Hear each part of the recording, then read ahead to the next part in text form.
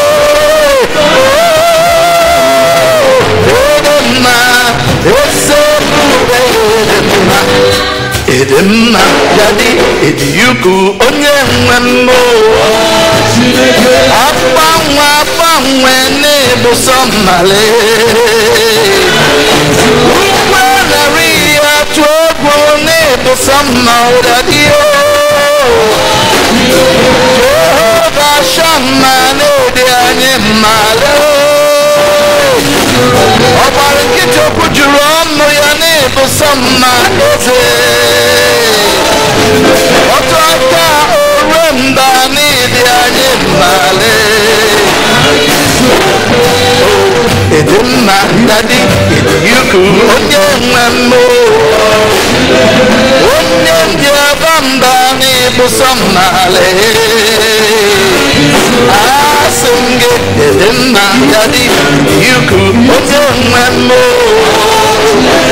onye na-ebuso mmale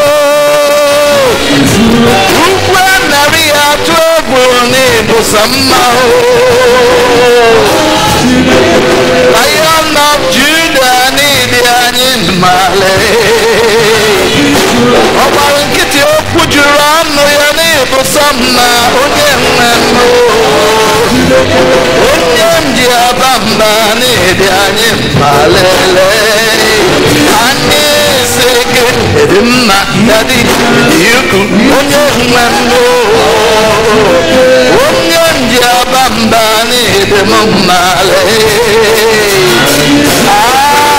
gị dị mma dadi dị ukwu onye nwe m agbanwe agbanwe na-ebuso mmale obi m sara mbara ife ya obi m sara mbara ife ya jizọs onye na-eme mma obi m sara mbara ife ya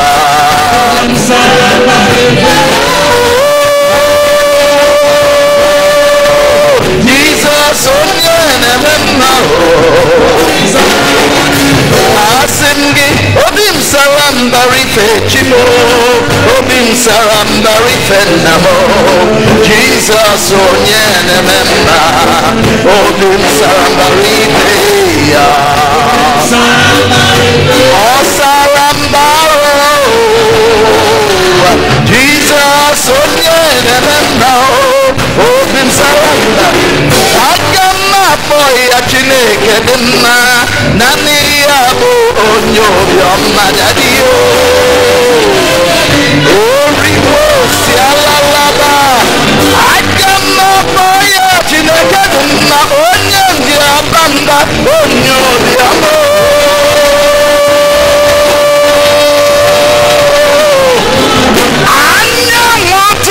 chineke dị mma onye mbụ na onye egede onye obiọma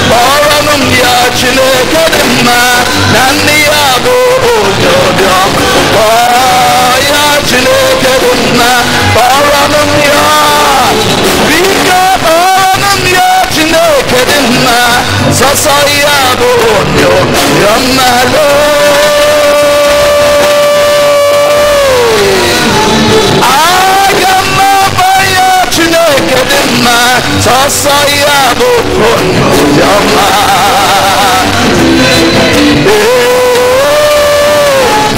Oh, Jehovah is your name. Jehovah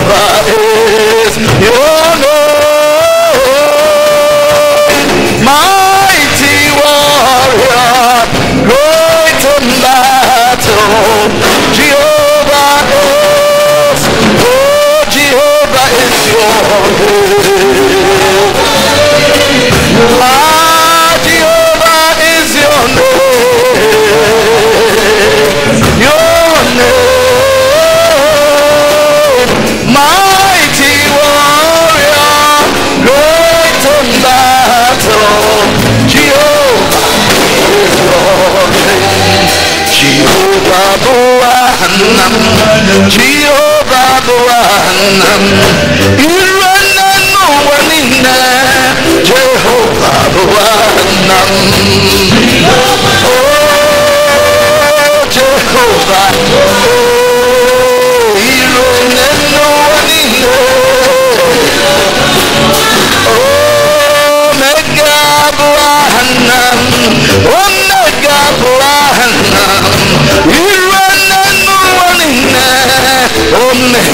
Omega Buanam. Omega. Oh, Jehovah. Oh, Irana no one in there. Jehovah Buanam. Jesus, blessed Jesus, I love your name. I love your holy name. Jesus, blessed Jesus, there is no other line. Oh, hallelujah. Blessed Jesus, I love your name. I love your holy name. Jesus, blessed Jesus,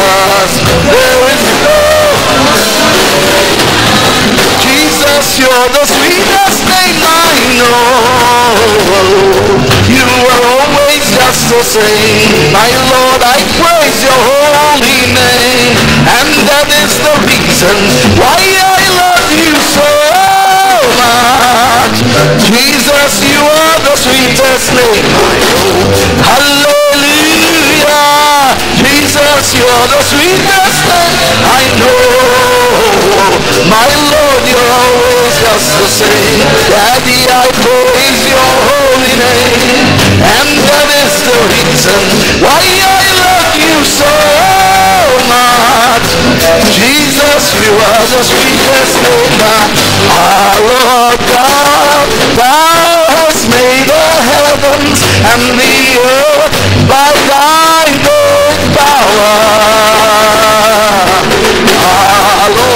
God, thou hast made the heavens and the earth by thine outstretched hands.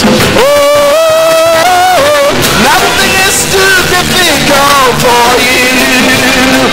My Lord, nothing is too difficult for you. Oh Lord, great and mighty God, great in counsel, mighty indeed. You are. Oh, nothing, oh, nothing, absolutely nothing, nothing is too difficult for you. My nothing, absolutely nothing, nothing is too difficult. Oh, my miracle worker, nothing, nothing, absolutely nothing, nothing is too difficult. Send down your power, we pray you. Come down, dear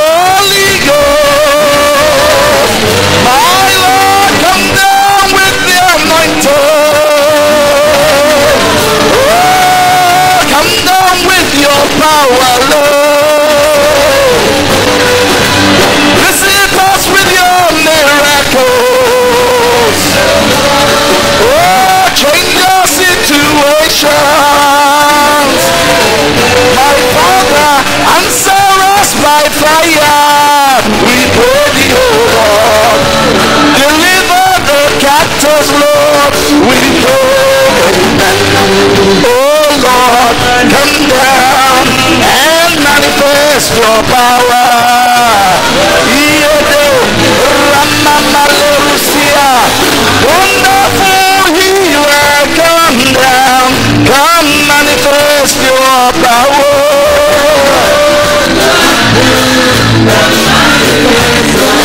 Situation changer, come down, come and manifest your power.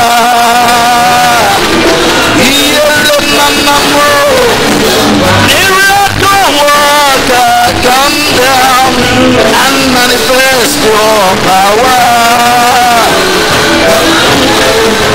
Manifest Holy Ghost power. Holy Ghost power. Anointing power. Anointing power. History changing power. Destiny rewriting power. Holy Ghost power. Holy Ghost power. Holy Ghost power. Anointing power. Power. Power. Holy Ghost power. Power. Power. Holy Ghost power. Power. Power. Miracle power. Power. Power. Holy Ghost power. Anointing power. Holy Ghost power. Let the power of the Lord come down. Let the power of the Lord down. Let the power of the Lord from heaven come down. Let the power of the Lord. Hallelujah. Iyo, isto kurayelele basandalelebo. Miyanda lukuri andelele kusi andalele busandaye. Irobobo siki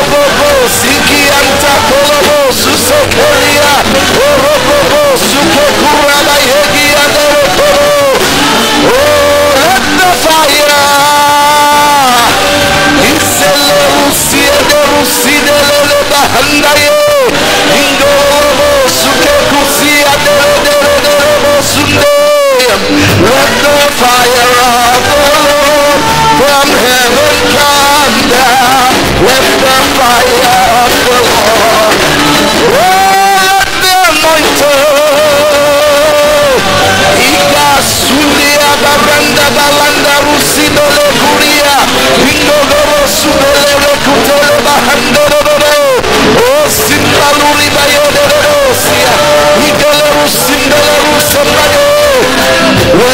Anointed of the Lord, come, come.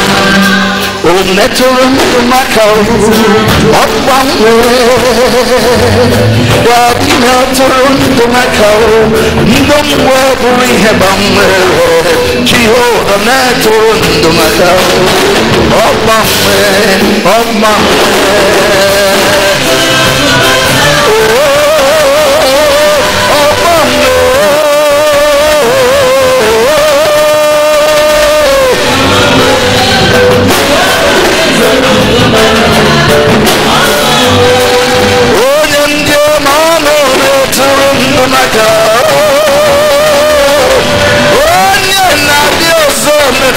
ndụ maka ndụ ọ bụrụ ihe gbanwee jehova metụrụ ndụ maka ọ gbanwee ọ gbanwee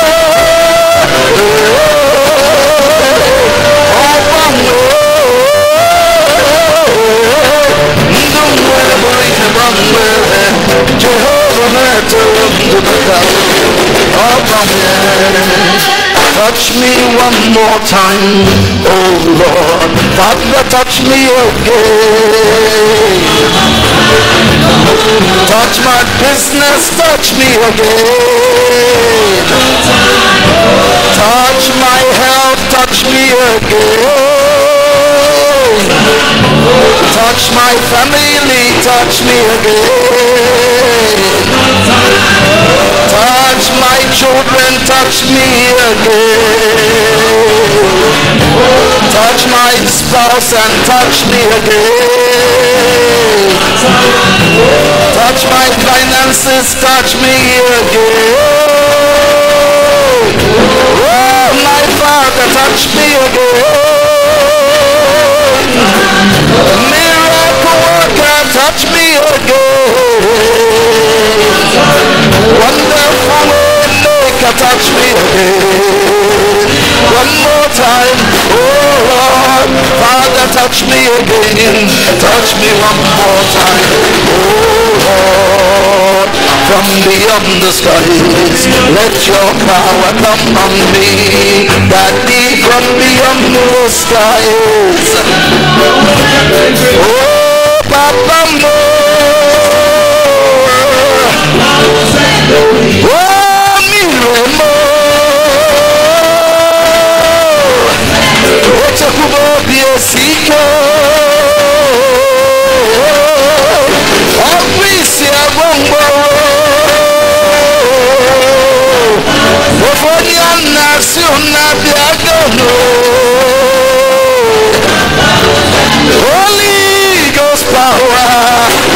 Holy Ghost power Holy Ghost power Holy Ghost power Holy Ghost fire.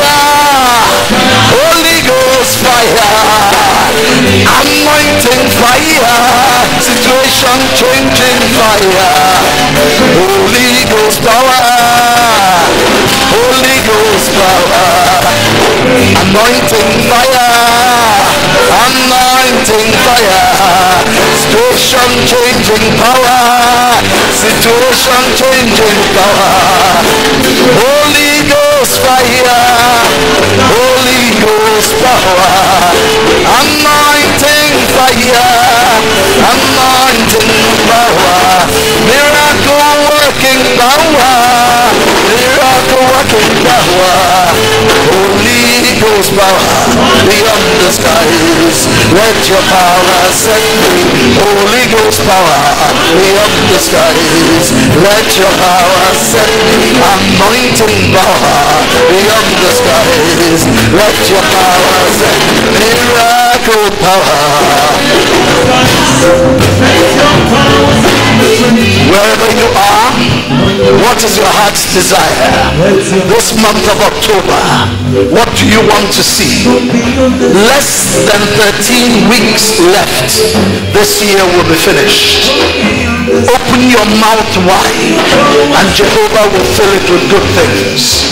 You will not ask again at the end. You will not ask again after Thanksgiving. Now is the time to talk to God. What do you want God to do for you? My Father, my Father, crown my year 2020 with your uncommon blessings. Open your mouth, talk to God. Anointing power beyond the skies. Let your power, signs and wonders power. Let your power, situation changing power. Destiny changing power beyond the skies. History rewriting power beyond the skies. Power, power. Oh, Holy Ghost power. Signs and wonders beyond the skies. Let your power. Onye nwe ụwa meghere anyị ọnụ ụzọ nke n'igwe. Chineke meghere anyị ọnụ ụzọ nke n'igwe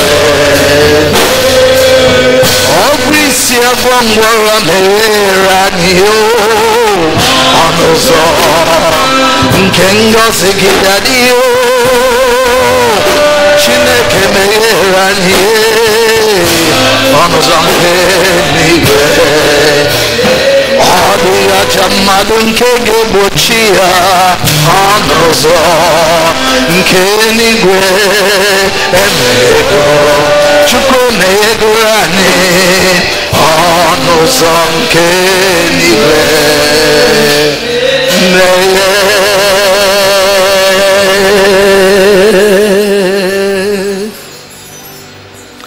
gọzie gọzie anyị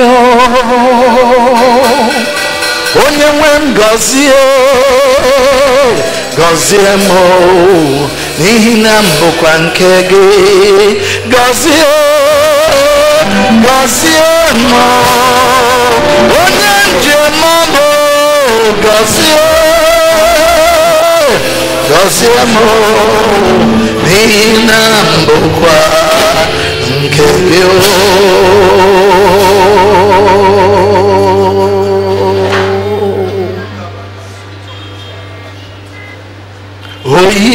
nke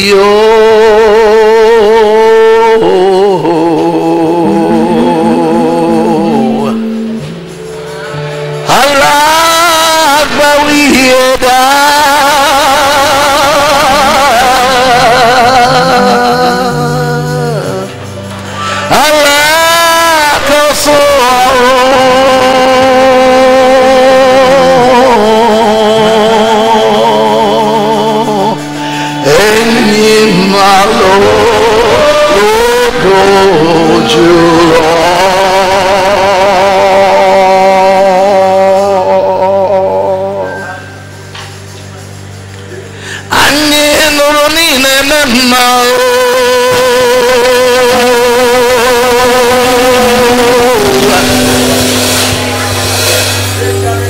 Anyị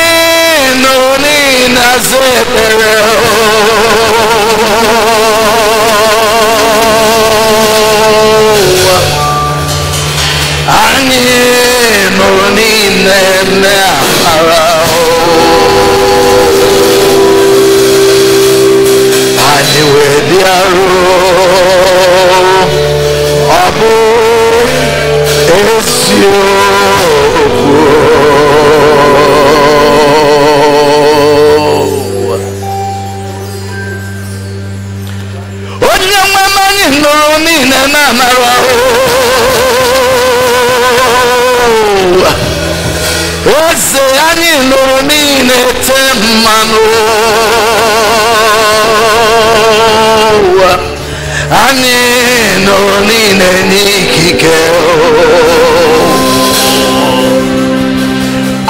wee bịaruo ọ bụ eziokwu ịdị mma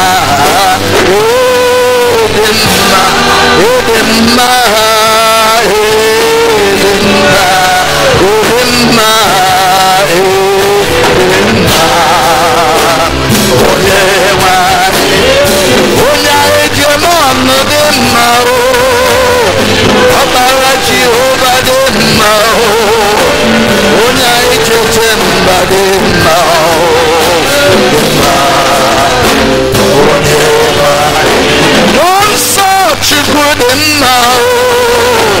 onye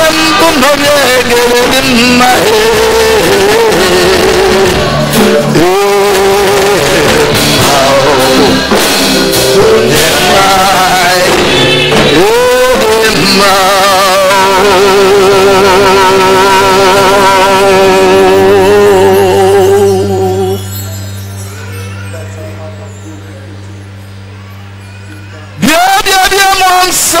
bịa kene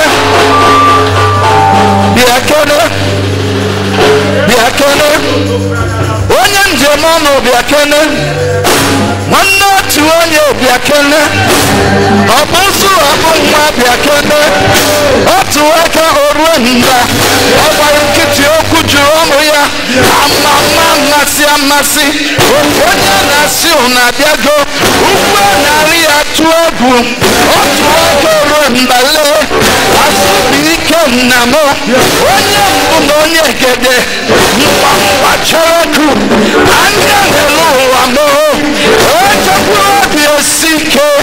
Ofu onye na-asị ụna abịago ugwu a narị ya tụọ egwu. Ọkụ na ọzara. Ụlọ kachie nna m kene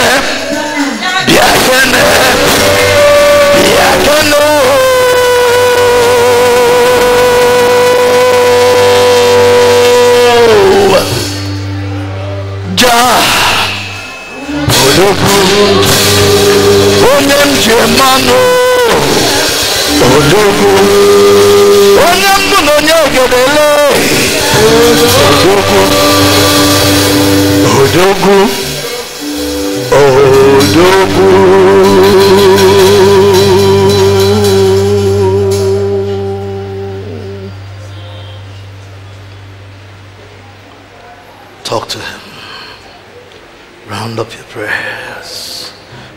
he has done great things. Softly softly only the praise team he has done great things. For he has done great things. We praise his holy name and this year he will do great things. This year he will do great things.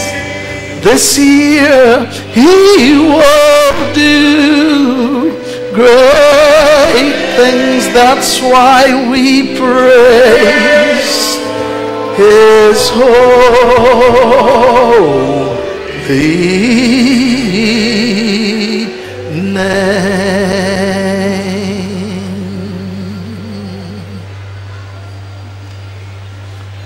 Jehovah answer you by fire. May the Lord visit you with a transforming visitation. May October be your month of manifestation. Receive grace. Grace greater than ever before you had seen and known. Grace to recover everything the enemy had stolen. Anything you lost because of the lockdown. Anything the enemy had sought to subvert, divert, or prevent you from receiving from God this year 2020. Receive grace that draws into speedy and perfect manifestation, accelerated performance, Jehovah's every will and plan and purpose for your life that you didn't receive in January, February, March, April, May, June, July, August, September. May they this month of October, the month of November and December come upon you as a deluge. Come upon you as a deluge. I call into manifestation Jehovah's plans for you. He whose thoughts for you are thoughts for good only, not evil, to bring you an expected end and the future you could only have hoped for. I call his plans for you and yours into manifestation so that there shall be no carryover. There shall be no carryover. There shall be no carryover. Rain of blessings, rain of favor, rain of success, rain of open heavens, rain of breakthroughs in the name of Jesus. Every enemy that had hindered, prevented, delayed, subverted your blessings in the first nine months of this year. They are bound, they are terminated.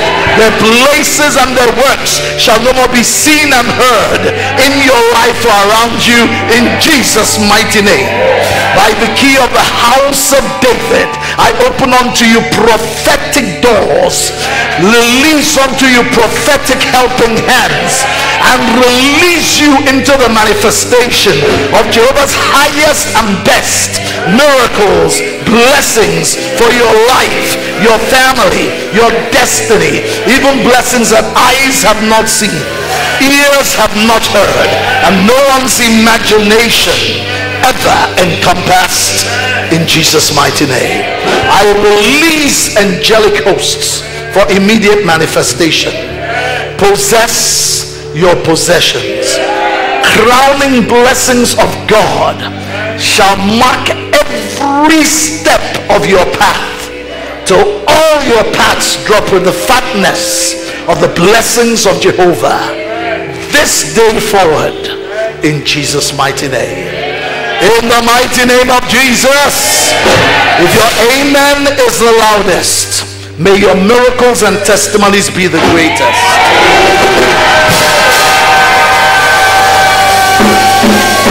In Jesus' mighty name. Point your finger deliberately to somebody and say, I am looking at you. But I see everything changing. I am looking at you, but I'm seeing something else. Great glory surrounds you. The set time to favor you has arrived. This year cannot end without God amazing you with incredible blessings. If you believe it, shout a believing hallelujah.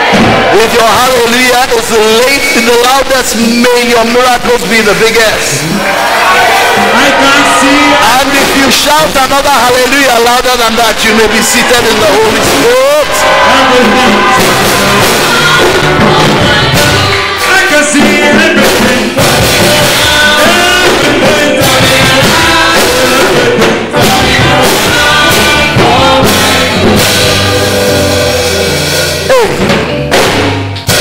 Why does God love you people so like this now? The first service didn't have this one. they got their own, oh, but this your own. Special dose. We have mommy in our midst today. Praise the Lord. I welcome you to the first and our Thanksgiving Sunday in the month of October. Just about 13 weeks, weeks more, the year 2020 will come to an end. I want to assure you and reassure you the enemy has done his worst, but God will always do his best. So be assured, rest assured that if he created all things created in only six days, 12 weeks, 13 weeks are far more than enough for him to minister to you everything he had planned to do for you this year 2020 none shall be missing none shall be delayed none shall be carried over in the name of jesus. Part 6 of a father's legacy. A father is a great asset to any nation, any people, any family, any tribe. The great man of God, Billy Graham, said a good father is one of the most unsung, unpraised, unnoticed, and yet one of the most valuable assets in our society. Praise the Lord. I see great fathers in our midst and great fathers to be rising up amongst us in Jesus' mighty name. We began to look at the duties of a father, the responsibilities of a father, which accorded us the opportunity to see and discover areas in which a father could excel in order to leave a huge, godly legacy of eternal blessings unto his generations. So we saw that every father must be a teacher, the principal teacher in his family. Among so many other things that the father needs to teach, the fear of the Lord is key. Because the fear of the Lord is the beginning of knowledge. Proverbs 1 verse 7. The fear of the Lord is the beginning of wisdom. Psalms 111 verse 10. To teach his family to love God and to love God with a consuming passion. Because Mark 12:30 says, "And thou shalt love the Lord thy God with all thy heart, with all thy soul, with all thy mind, with all thy strength." This is the first and obviously the principal commandment. All or nothing. Somebody look at your neighbor say, all or nothing. God wants your all or he wants your nothing. Praise the Lord. Make him number one. Teach your children to do the same. We saw several examples of people who did that.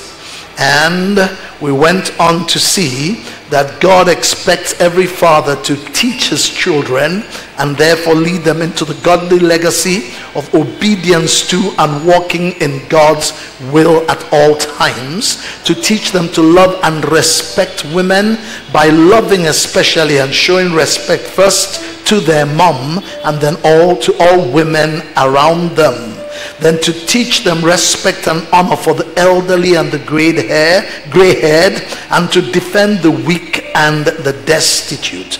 Every father must teach his family. Every father is expected of God to be a provider. For 1 Timothy 5 verse 8 states, But if any provide not for his own, and especially for those of his own house, he hath denied the faith and is worse than an infidel. So within his capacities and capabilities, he should provide. Make a plan for the future of his family and orchestrate the assets available to him to make sure his family has the best they can have and certainly that they have a vision of godliness and a glorious future that they can walk to to be the protector of his family, especially spiritually watching over them, being the strong man of the house, and making sure, especially from a spiritual point of view, that you deal with issues that would have handicapped your generations. I repeat this. If you are a father, especially in a commission such as this, where we teach on deep spiritual things.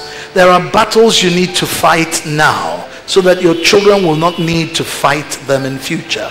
If you notice that there are altars, there are principalities and powers, there are ancient covenants and dedications that lay a claim over your family, that the scepter or rod of wickedness is resting over the portion Jehovah has allotted to your family and your generations. It is your responsibility to do everything within your power to make sure that those altars are dealt with, that those coverings cast are eliminated, that the rod of wickedness that had rested over your family and the satanic strong man that had ruled over your father's house, that they are bound, banished, and cast out and broken off your family, so that your children, when in their own time they arise, will not need to pray backward prayer. Their prayers will be forward prayers. Not, Father, I bind, I break ancient altars 10 generations, 20 generations before I was born. But oh God, give me America, give me New Zealand, give me Australia, make me a voice in my field. Am I talking to somebody here? Let their prayers will be forward prayers rather than backward prayers. It is a father's responsibility to do the due diligence and be the protector of his generations and provide that launching pad so that they can spring and go higher than you were ever able to go. give them a godly foundation.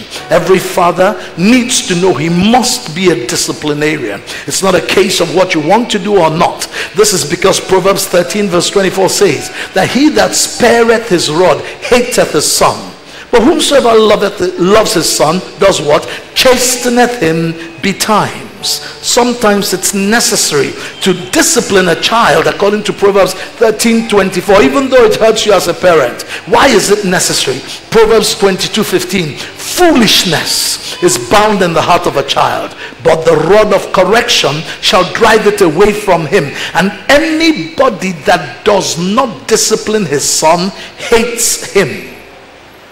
In fact, on this discipline issue, the Bible says that if you are not disciplined in the family you're born into, you are a bastard. You are not part of that family. So we came to encourage young people, and we still do. Never despise the discipline of a father. Your response to that discipline, discipline is key. Because if you reject it, if you are not receptive to it, if you are if you don't allow yourself to be corrected and instead become exasperated or hardened in your ways you will miss the benefit of that discipline.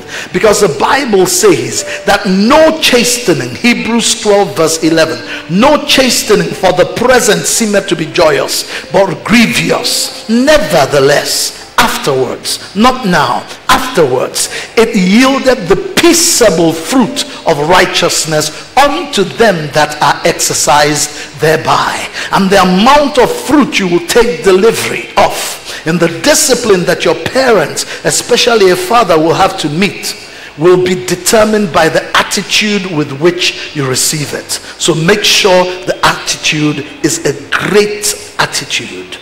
Some people need to again imbibe this culture of saying thank you after you've been flogged. Praise the Lord. I know some young people don't like that kind of language.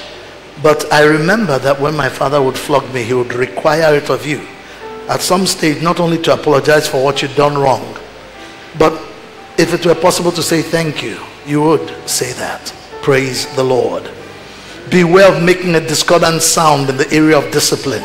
One parent is coddling, the other one is disciplining. Wrong signal.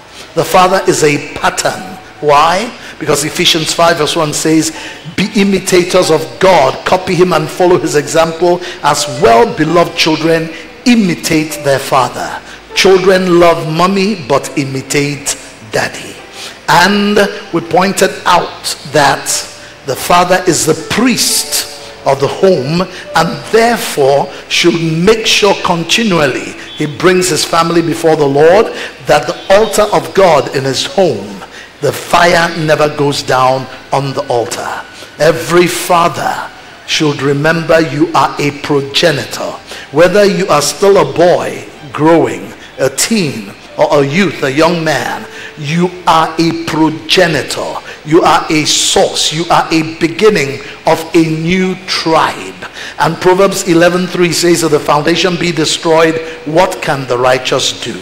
So every father needs to brand his tribe for jesus in the examples you show them, brand them for Jesus. In the lifestyle you live, make sure you don't compromise them from the foundations. There are many who will be in sexual recklessness in their youth. There are many who will live a licentious and wayward life in their youth without knowledge, but not you not you hearing me, not you watching me on television. Why? Because you must be generation minded, tribe minded. Your sexual gateways are not for games, they are the spiritual access ways whereby a holy seed comes into the earth. For the seed, as a sperm, starts its journey in the man, passes under the ark of circumcision, and therefore becomes covenant seed, enters into the woman and there is fertilization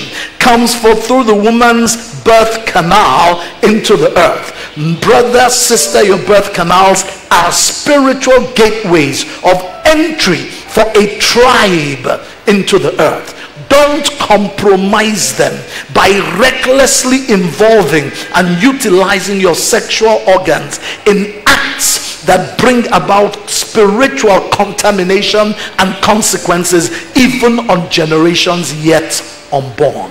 You know too much to make that mistake. It is not as simple as having a girlfriend. It's not as simple as making love. Those are sweet words that cover sin that will blight transgenerationally. When you have a generational mindset, when you understand you must bride, brand your tribe right, there are things that you just won't do again because you are not a profane person and you understand the spiritual import of what others trivialize, joke about, and play around with. This took us into a lot of things. You must be uniquely different. You must understand that you can't do what everybody else did. You must set godly and very strong dramatic examples for your generations because there are drastic things and they are in drastic times. Drastic things demanding their attention. If your examples are not dramatic and therefore ingrain themselves on their memories they will miss it. They will miss it. Brand your generations for jesus in jesus mighty name please go back get the earlier tapes and watch them my generations shall praise the Lord. That should be your battle cry. That should be why you can say to the young man that says, Lie with me, no, I will not. Unless you are my husband, no way. That's why you, like Joseph, will be able to say to Potiphar's wife, Madam, you are too expensive. I cannot afford you. Enough of the revision. Let's move forward. Reviewing and talking as we go. Please look at Proverbs 4 from verse 1. Hear ye children the instructions of a fa- the instruction of a father, and attend to know understanding. For I give you good doctrine. Forsake ye not my law. This is a father speaking to a son. This is God the Father speaking to us. This is me, a spiritual father, speaking to you. For I was my father's son, tender and only beloved in the sight of my mother. He taught me also. He did what? He taught me and said unto me, Let thine heart retain my words, keep my commandments and live. Get wisdom, get understanding, forget it not, neither decline from the words of my mouth. For you to be able to teach your own, and every father must be a teacher, it is incumbent on the children to draw near to daddy. Too many children have a flighty mentality. As they grow older, those that used to be close to daddy and mommy, artificial distance begins to manifest itself. You need to do something active to deal with that distance. Am I communicating with somebody here? Verse 5 says, Get wisdom, get understanding, forget it not. Neither decline from the words of my mouth. Forsake her not, and she shall preserve thee. Love her, and she shall keep thee. Wisdom is a principal thing. Therefore, get wisdom, and with all thy getting, get understanding. Exalt her, she shall promote thee. She shall bring thee to honor when thou dost embrace her. She shall give to thine head an ornament of grace. A crown of glory shall she deliver to thee. Hear, O my son, and receive my sayings, and the years of thy life shall be many. Whatever spiritual law is true in the positive, reverse it, it will still be true. My son, if you don't hear, if you're stubborn and block your ears, and you don't listen to my godly sayings and teachings, it is possible that you will be abbreviating or cutting short your life. It is possible that you will miss the wisdom that would have prolonged your life. Verse 11 of that Proverbs 4 I have taught thee in the way of wisdom, I have led thee in right paths. When thou goest, thy steps shall not be straitened. Now, the word straitened is Old English for narrowed and constricted. And when thou runnest, thou shalt not stumble. In other words, if you listen to the advice your father gives you, if you sit at his feet and take delivery of wisdom that is a product not only of academic qualification. Your father might be a PhD, wonderful, a professor, fantastic. All that is good. But most importantly, he has the mileage of years. He is 45 years old, 55 years old, 70 years old. There is wisdom he accumulated over years that the PhD you have gotten at 25 will not give you. Am I talking to somebody here? So that PhD is excellent, encourage, but you have a responsibility as a wild, wise child to sit at his feet take delivery of the knowledge that is a product of experience. When you add your phd to it you'll be standing on the shoulder of giants and you'll be seeing much further than your contemporaries. Am i talking to somebody here if you're blessed with a godly father figure exploit what God has given you. There is a treasure in that earthen vessel. Praise the Lord. So he says, I've taught thee in the way of wisdom, I've led thee in the right paths. Verse 12. When thou goest into life, go into your business, go to set up your own family. When you go forth into the marketplace, when you go to the nations of the world, what I have taught you that you've learned sitting at my feet will make sure your steps are not constrained. You have a liberty that others might lack. And when thou runnest, you will not stumble. Because I have warned you and pre-warned you about certain things that tripped up great men before you. So you know what to look out for. There are things you learn sitting at the dining table sitting at daddy's feet that will give you wisdom on uncommon Solomon's wisdom was not only the incredible grace that God gave him but the additional fact that his father crowned him king while he was alive. So there were two thrones in Israel. Solomon sitting upright on one, and King David lying beside him on another one like a couch. So the agreement of father and son, the wisdom of father with incredible grace of God upon the son, Solomon became incredibly successful. Am I talking to somebody here? Never disdain what God has planted in a father figure for you read through Proverbs 4 right down to 27. Very rich about the teachings of what to gain from a father figure and indeed from your mother figure, your parents in general. Dads are teachers, mentors, and coach. And in Deuteronomy 6, verse 6, we saw that you teach at all times in every setting. For we found in Deuteronomy 6, verse 6 on to verse 9, that the Father teaches when he's seated, he teaches when he's walking, he teaches when he lies down, he teaches when he rises up. At all times, in every circumstance. So the wise child that is close to daddy will always have lessons to learn, even from daddy's failures, daddy's mistakes, daddy's friends, casual conversation. Be close to your father. Make it a choice, so to be. And the father who's a coach will stretch you. Because a coach sees in you what you don't yet see in yourself.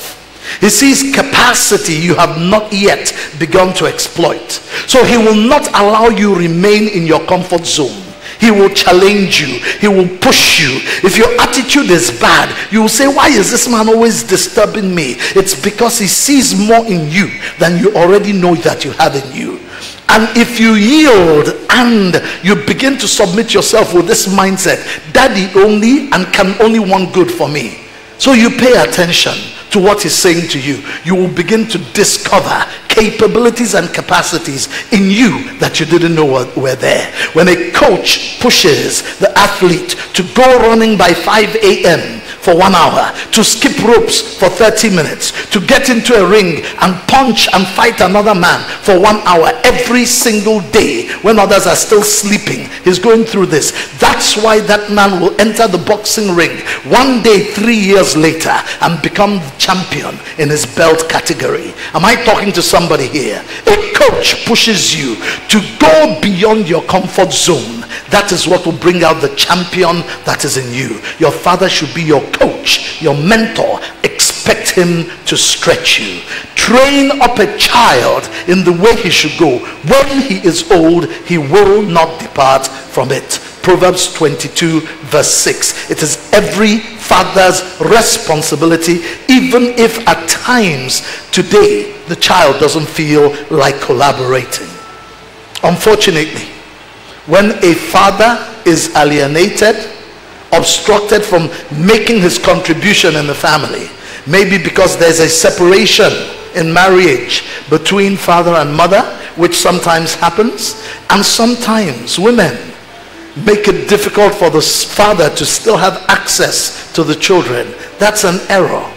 Even if it didn't work between you and your husband, but he's a responsible man and wants to give his godly input into the lives of the children, do not stop it.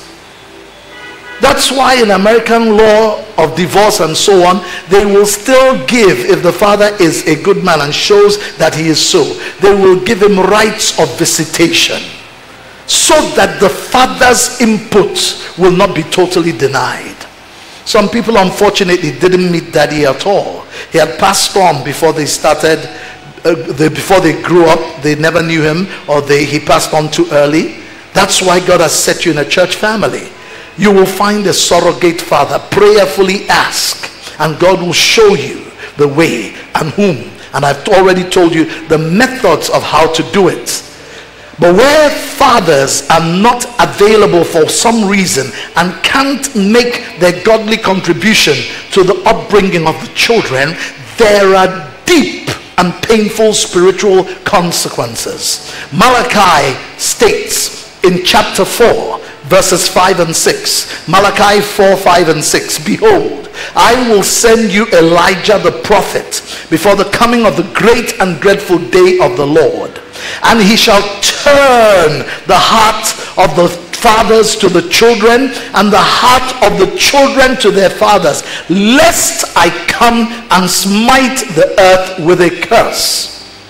What this scripture is saying is that where there is a division, where there is a separation, where the influence of a father is absent, there is a loophole that the demonic can exploit by injecting curses. Something will go wrong, most probably.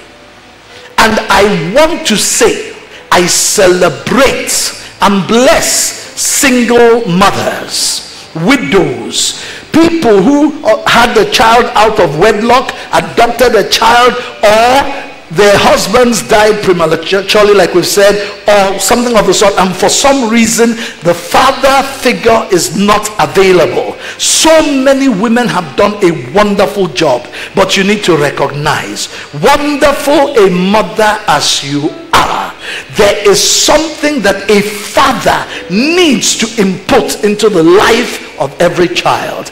If there is no father to input it, something will be missing. So please help your child locate that figure, father figure. It might be your own biological father, mama. It might be your brother. It might be a good, solid Christian colleague in the office. It might be your pastor in the church. Am I communicating? Point your children to that person and let that person speak into their lives. Counsel them. Be available, sir. I need advice. And they call for that advice. Say the prayer a father says. Pronounce a fatherly blessing over them from time to time. Don't let the gap of a father exist in the upbringing of your child there could be serious spiritual consequences. And if the father is there, he might not be the best and most knowledgeable, but teach them, the children, how to pull blessings out of their father. We saw that in Genesis 27. We saw Rachel or Rebecca go to the son and say, Your father is about to upset God's order God said the elder shall serve the younger. That means your brother Esau, you're supposed to be the one above him. You have the birthright now. But what your father is set to do now will turn over the entire spiritual clock. because he is father and his blessings are so powerful that God will honor them.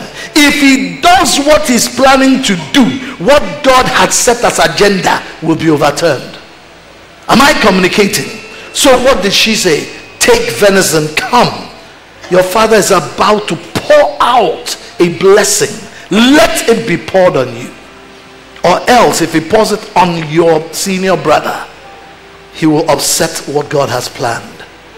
And when Esau, when Jacob comes, the methodology is not what I'm looking at. The spiritual import is what I'm talking about. Am I communicating? When Jacob came, knelt with subterfuge and was blessed instead of Esau, the blessing of the father upon him, thinking he was blessing Esau, was let your brothers serve you.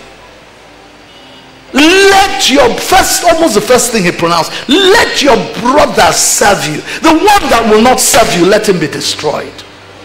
Had he pronounced that blessing on Esau, it would have destroyed Jacob. Am I communicating with anybody here? It would have prevented Jacob being what God had prophesied when he was in the womb. Elder shall serve the younger. It was the mother that taught him how to provoke a blessing out of the father. Mothers, when last did you even understand the need to teach your children how to provoke a blessing from daddy? I gave you examples of one or two things I was able to do as a child. My first vacation job, the machete I bought for my father, not because he needed it, I never saw him use it, but it was something that meant something to him. And he had lost one at the war during the Civil War. I bought one and replaced for him. I bought a wrapper for my mom. First monies I ever earned as a secondary school student and provoked blessings out of them. But what was the origin of that understanding? They went they didn't teach me from the Bible as I'm teaching you today. But in those days, if I go shopping with mama, my mom, she will say, Okay, take this money, go and buy that meat pie. Tell them to give you three so that we'll eat with daddy when we get home. Or four or five you will take it and pay. And when you come home, she's unpacking the things in the kitchen. She'll call you and give you the things and say, Oh, yeah, put it in a saucer, take it to daddy, and tell him this is what you bought for him when we went shopping. That was the teaching, that was how it started.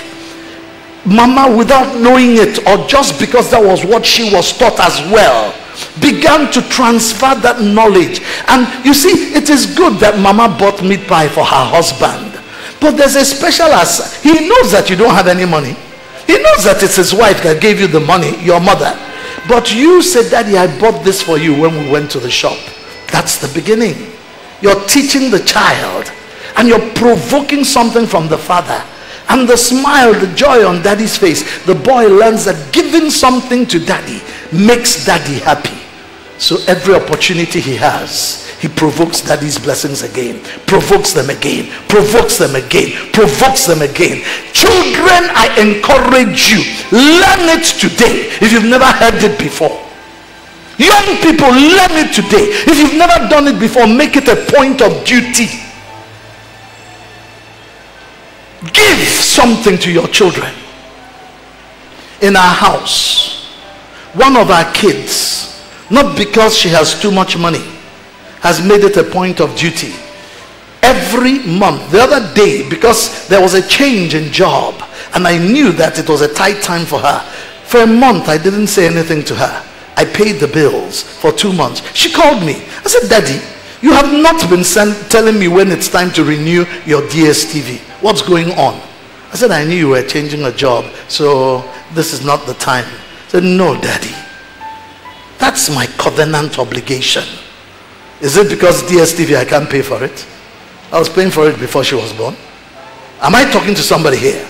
But hey, that fact that it is your child that did it, teach the children how to provoke blessings out of their father. It is a mother's responsibility.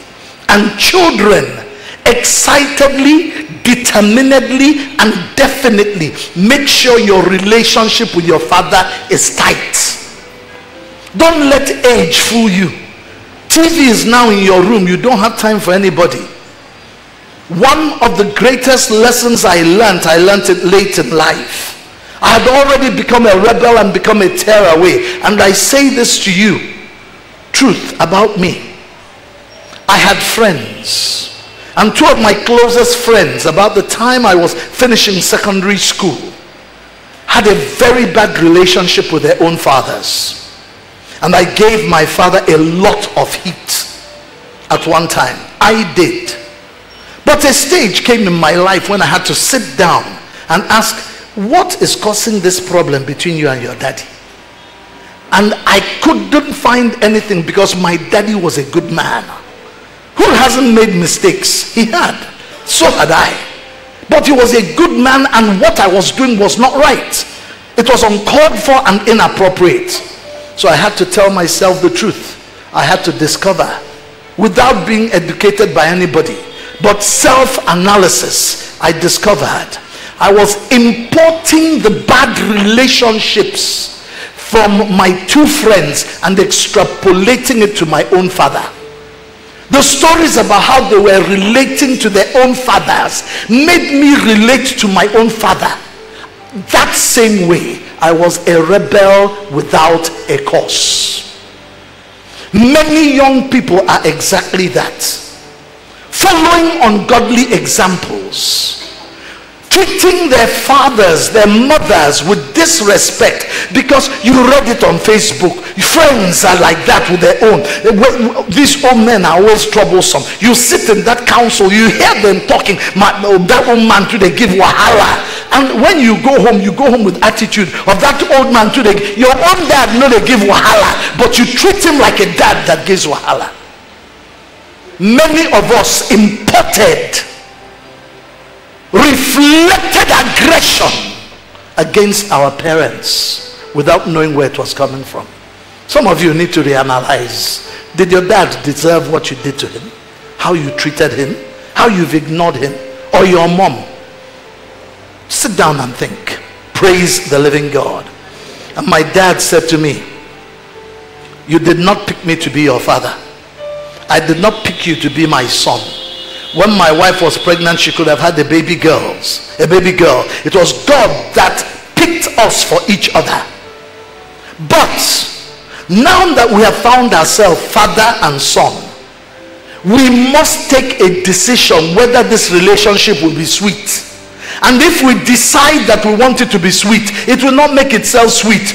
Both of us must impute into it work hard to make it sweet relationships are built. They don't just come like that. Whether it is a matrimonial relationship or a father son relationship you build it. You invest in it. A time came when i had to make a decision that this relationship that was sour between myself and my father should would not continue that way. And grace spoke for me because i can't say i wasn't a church going person but I realized my father would drink tea every morning. After immediately after morning devotion, which was very brief, he would call for his morning. He would have this morning tea to be set up for him, and something happened. When my father sits down to take his tea, I'll now go to him and say, "Daddy, may I have tea with you?" And I sit down with my father. Twenty minutes, thirty minutes, we share tea and share biscuits and share information and share love and share intimacy in the morning. And I began to learn. And the relationship began to be sweet.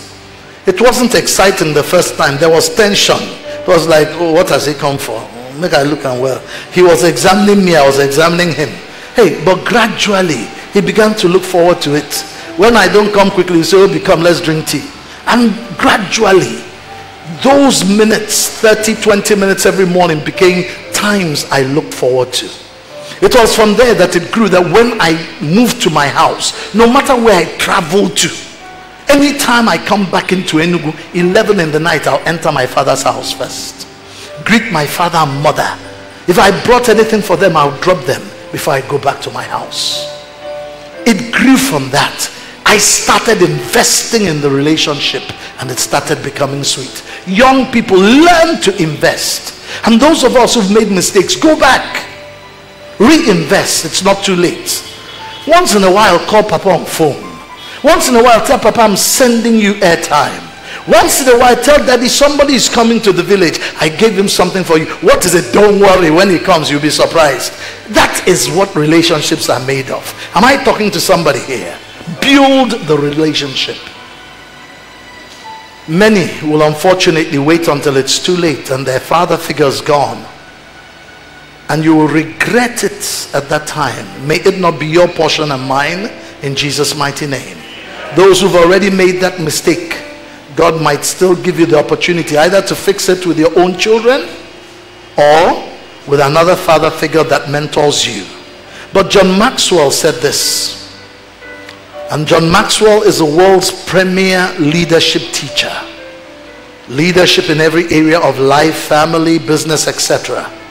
If somebody is mentoring you, if somebody is speaking into your life, there are certain things you need to do to show that you are a good mentee and to maximize the benefits you derive from that relationship, even if it is with your own biological father. One of them is this learn to ask questions. Learn questions are icebreakers. Questions are door openers. The questions that Apostle Peter asked made it possible for so many of us to learn so much about who God is. The question that John asked made it possible for John the Beloved to be the only one who knew ahead of time who was going to be, be, betray Jesus. None of the other disciples knew. But he asked the master, Who is it that will betray you? And Jesus said, You see this bread I'm holding? I'm going to dip it in stew. Anybody I give this to is the one that will betray me. He dipped it. He said, Judas, Judas, Judas, better man, take. Judas put out his hand, rejoiced that he was one Jesus was giving to. But Jesus was passing a message that only John understood. There are things deep in the heart of your father that casual conversation will not bring out. You will need to sit down with him. There are compounds you should not enter in your village. There are people you cannot relate to in your village and you don't know who they are. During the Civil War, it was my father that told me, Indiana Bansi. Hello, somebody. You know what that means? This family is known for poisoning people. As a child during the war, we were not afraid in those days. No kidnapping and things like that. As soon as you finish taking your morning bath, finish doing your chores, you jump out to play. You go from this compound to that compound. But because of that parental grace that I had sitting down at my father's feet, I knew whose house not to go to. Children of today, go back to your village. Do you know anybody? When they carry you, go here, I carry you, go there. Because you never sat down at daddy's feet. This is telling you these people are known. Daddy, what do you mean by it? Ah, they said that in days of old he used to put it in his finger. When you're drinking with him and his hand passes over your cup, he has dropped the thing into your drink. There were are they know your own village. Why are you looking at me like that? Hallelujah, Joe. Praise the Lord. Amen. But you see, these are things you learn from sitting at daddy's feet. They, they, you never you never learn it in university. Praise the living God. So, how do you ask questions? What do you do? Or what's the importance of asking questions? When somebody is pouring into your life, ask questions. John Maxwell said that one of the people he mentored that was such a blessing to him. He enjoyed mentoring him. This young man had this habit. Every time he meets with him, the young man will say to him, Sir, the last time we met, I asked you these following questions this, this, this.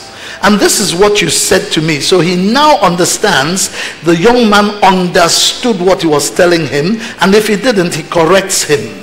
Then he tells him, with the information I, I got from that conversation with you, I was able to do this and do this and do this. Relevant application. Very good. He can now give him more advice. Then the young man would end up with saying, Sir, I have some more questions. Can I ask? So he always looked forward to his meetings with the young man People, especially people who have something upstairs, rejoice when they see people who are hungry to learn by sitting down at their feet, humbling themselves. Am I talking to somebody here? So many of us think we are too bright, too brilliant, and we don't have time to sit at daddy's feet. May they not be gone before you recognize what you had lost for them. And hey, there are kids that might not get this, but I tell you, counsel in the heart of a man is like deep water in a well. But a man of understanding will do what? Draw it out with patience and labor. You need to draw out some information from the depths of your father's heart. There are some things he won't want to talk to you about because he still sees you as a child. But the kind of question you ask him will show you you're not show him you're not a child and he'll begin to open up and tell you things that you didn't expect. It takes a wise child to get that kind of stuff out of his father. And it will be a terrible thing for a father who has grace and knowledge that should bless his children, appointed by God, which is why he brought you into his family as his child. But because you were not humble enough to sit down ask the questions, build a relationship, and draw out information out of your father. Somebody else, a houseboy, somebody else, a neighbor's son, somebody else, your cousin, somebody else draws near to your father. He humbles himself, sits at your father's feet, asks your father the questions that should have been you asking, and your father pours out on him what God had put in him for you. The last son can be the wisest in the family because he sat down at daddy's feet. Am I talking to somebody here? Unfortunately, in my hometown now, I know something, but I don't know much. But I have a first cousin, and I thank God for Uche. Anything I need to get done in my village, I talk with Uche. Because Uche interacted so closely with his father. And my uncle Horatius knew my hometown inside out. So anything I need to do that has to do with home, I call Uche first. And we talk and we agree on what needs to be done.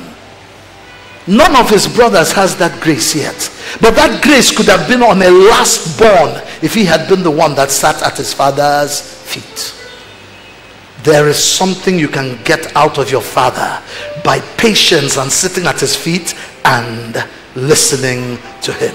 Don't be a rebel without a cause.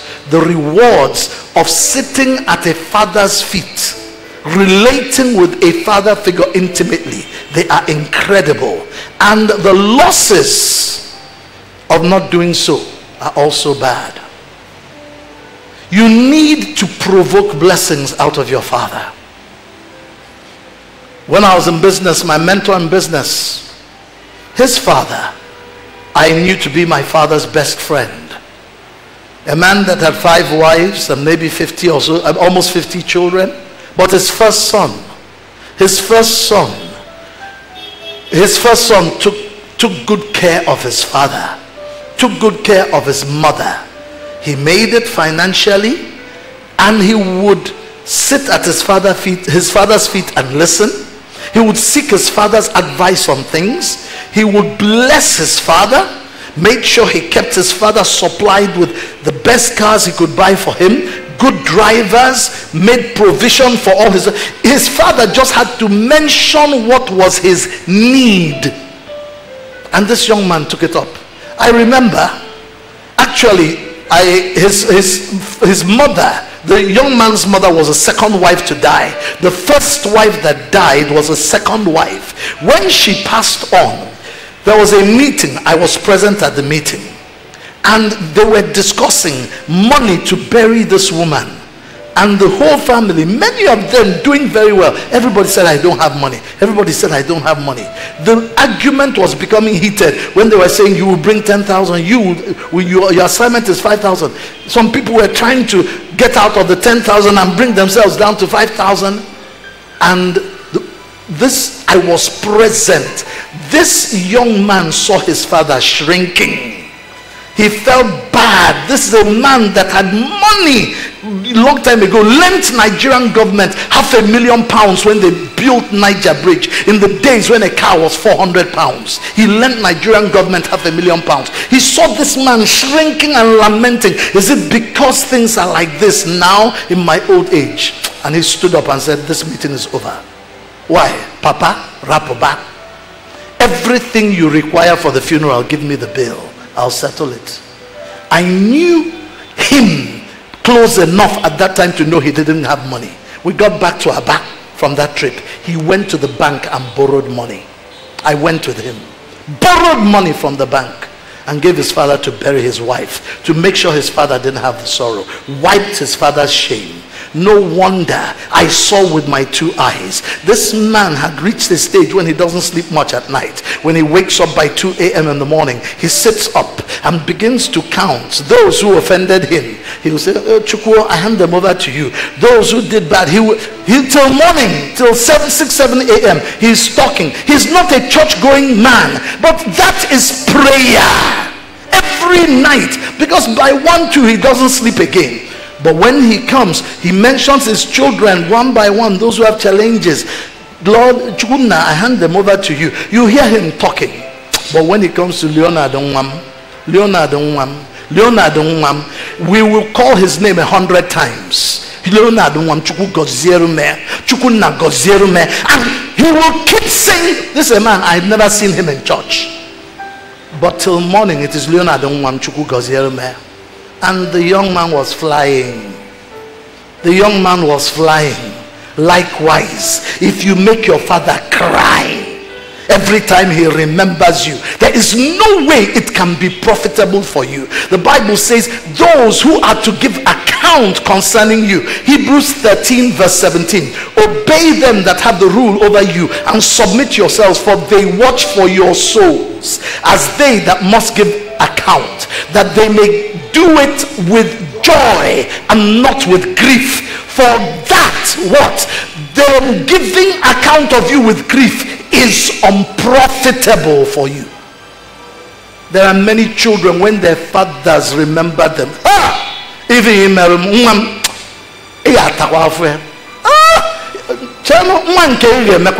your own child will do to you what you did to me. And that is the prayer of your father for you. And he's praying it with pain in your heart. Oh boy, go and diffuse that tension.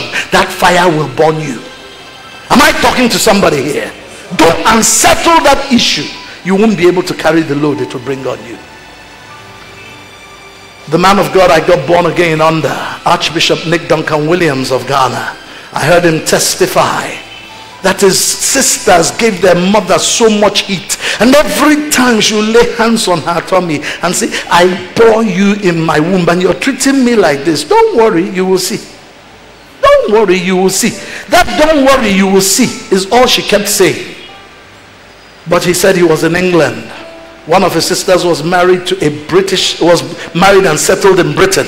And she was due to deliver and the doctor said, We don't understand what is holding your baby, but the baby is not coming. And we are in, not in a position to operate. You will not survive a cesarean section. We don't know what is wrong, but certainly something is wrong. And the lady was crying in pains, and the doctor said, This case is very bad. And he called the sister said, Do you remember, sister? Mama kept saying, You will see. You will see. Please call mama. At that point in time, she was desperate now.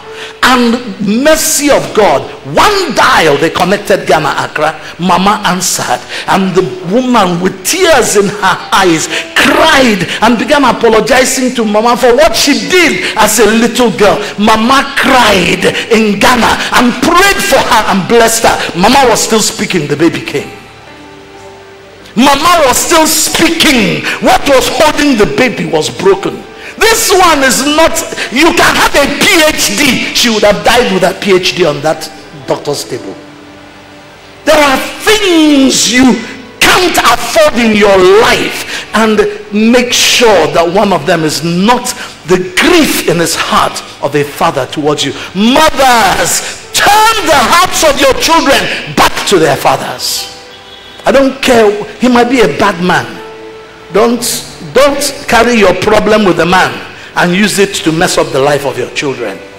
A young lady I know in this town had a problem with her husband or has been having some challenges with her husband.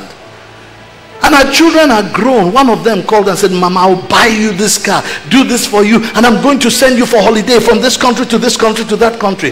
The woman was saying, Very good. I like that. But you finish your education completely. Yes, you're doing well, but finish your education with. And by the way, what of your father? Said, No, no, not him. The mother said, Then count me out. No holiday, no car, nothing. I don't want. The boy said, Mama, why? Said, anything you are giving that you're not giving to your father too, I don't want. Why now? I know how Papa treated you. I know how Papa behaved towards us. I know. The woman said, Have I have you heard what I said? Mom, if that blessing does not include your father, I don't want it. That's a wise woman.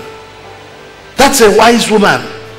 She didn't allow the challenges she had with her husband to bring the children to a place where they enter into spiritual consequences because they love mama.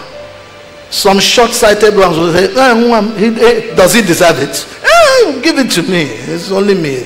I'm the only one that loves you. Was he ever there? And that you finish that child.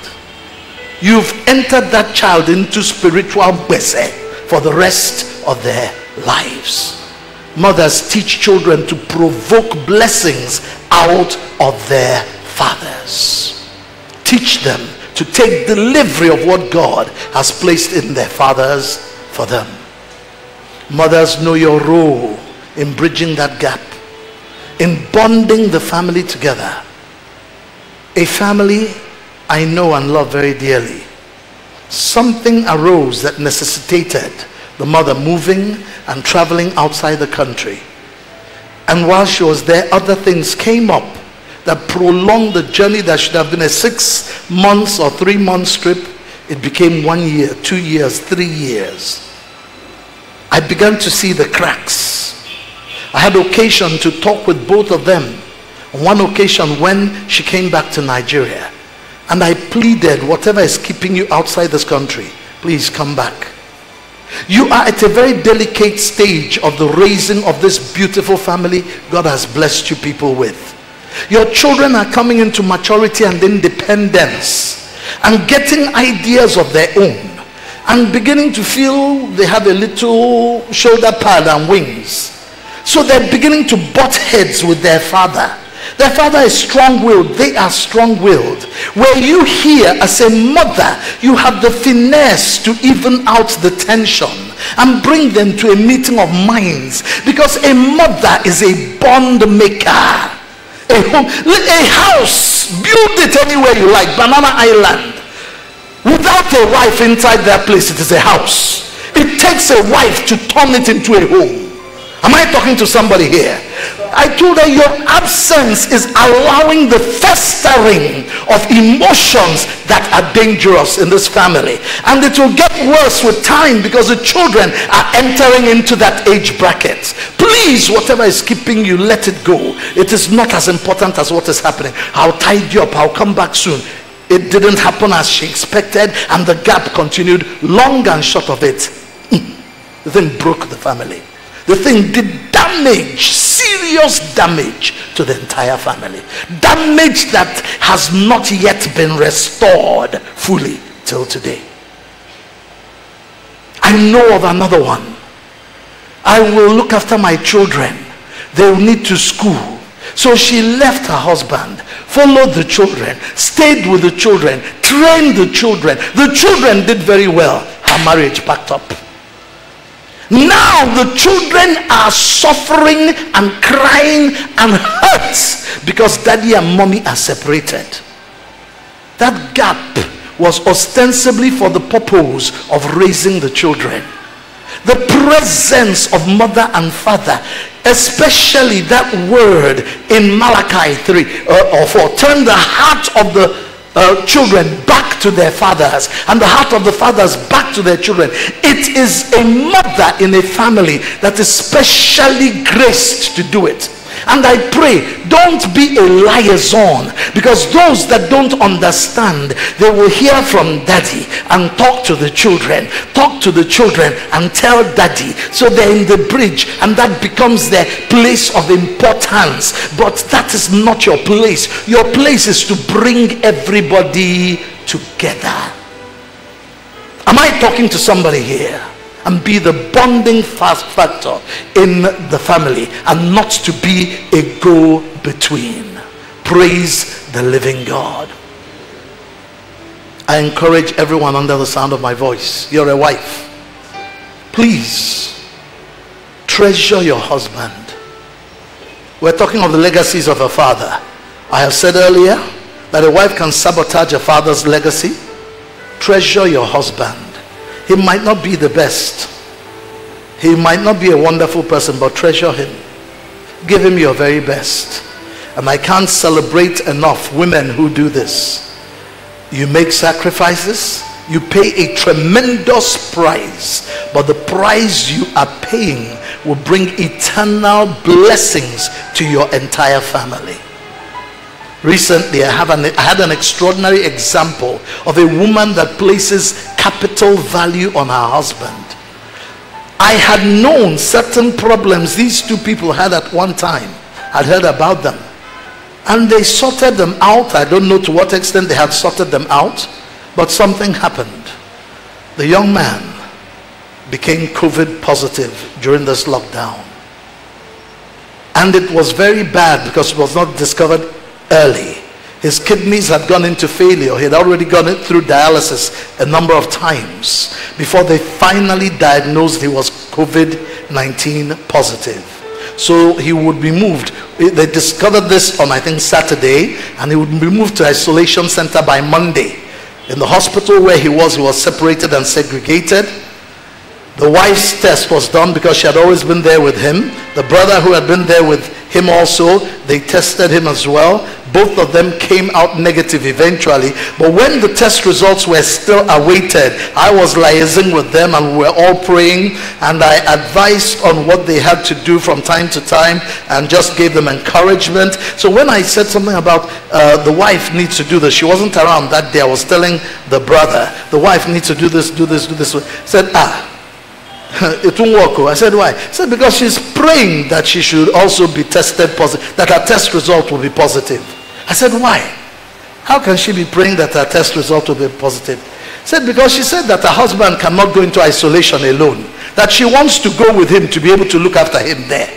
I said, I, what? I said, yes. The girl is praying that her test result, which will not come until that Monday, will be positive so that she can follow him into isolation to look after him. When the test result came out, she was negative. On Monday, when they were moving him into isolation, she said, I'm going with him. They could not do anything. They couldn't move him without moving her. So she moved into isolation with him. Am I talking to somebody here? Stayed with him in the place where all the COVID people are. And she came out still COVID negative. But the day I talked to the boy on phone when he was now recovering and discharged, I said to him, Oh boy, you see this your wife? God give you gold. Handle with. I know women who would have said, My two children, let me look after them. Uh, He will go, he will come. But this one said, Children, let my friends and relations and my mother and others look after the children. But let me follow my husband. This one is my own. That mentality is rare. And it's the mentality that brings out the best in a man.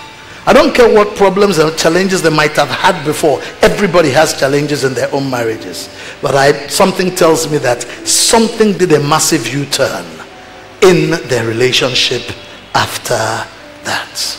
Praise the living God. Has anybody learnt anything? Children of God, I encourage you. Provoke out of your parents, young people, the best that they have in them for you. Somebody, an anonymous wise person said this. It is a wise father who knows his child. But maybe it is a very wise child who takes time to know his Father. I can't go further in this service. I think our praise and worship took some of our time, which is also very good. When you get home, go to Facebook, and there are a few things I said here. I will also review them by the next time I come to teach. It's obvious that what I thought would end today is not going to end today. Has anybody gained anything? Let's rise on our feet.